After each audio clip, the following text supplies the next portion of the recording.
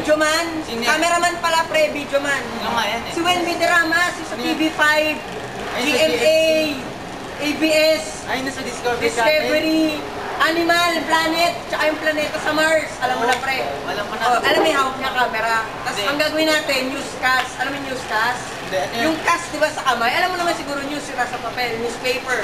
O, game mag-newscast tayo. Magandang umaga mga tips subscriber ko dyan at mga fans ko. At mga fans niya kung meron man. Ako si Rafael, ako itong lupa. Amoy lupa. At ako naman si Juan Paulo. Kaprekano at kami ang balita. Tiktik!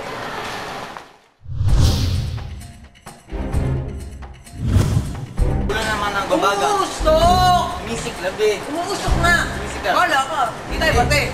Bala ka. Basta balita. Balita. Balita. Isang paladero patay matapos pag-hold upin at pagsasaksakin na isang di kilala nila lang. Andito si Francisco Briseño, live nag-uulat. Francisco, pasok!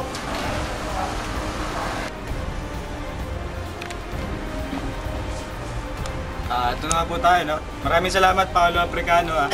Nandito nga po tayo sa Don Bosco, Makati, ah. Live po tayo ngayon, ano? At may na...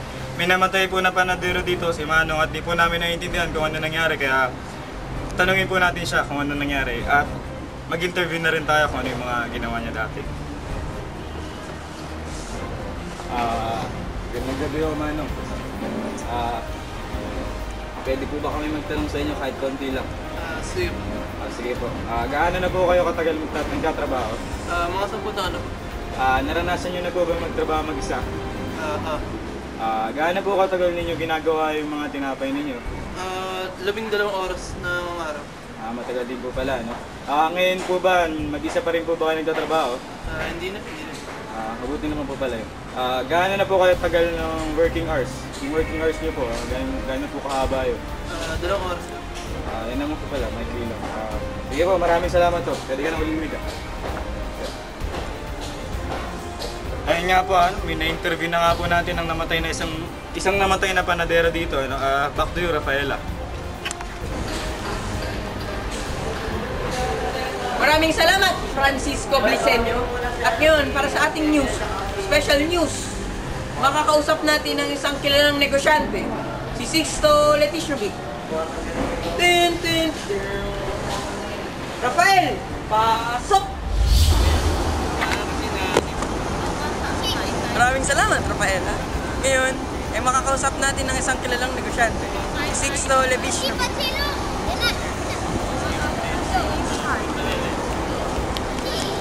Rafael, David!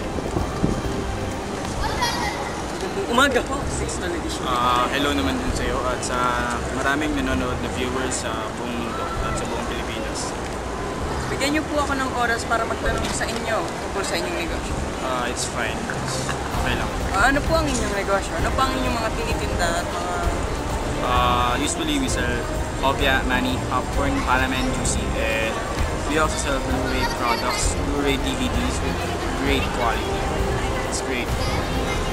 Ah, gano'n na po katagal ang inyong negosyo? I think uh, mag-aapat na years na rin, mga ganun. Matagal na rin po pala. Eh, gano'n po katagal ang production ng inyong mga produkto? Ah, yun lang, meron, medyo nagkaka-problem lang kami doon kasi ah, minsan kasi ano, 4 days lang. Pero pag may mga cups dyan sa tabi-tabi, mga 5 weeks I guess.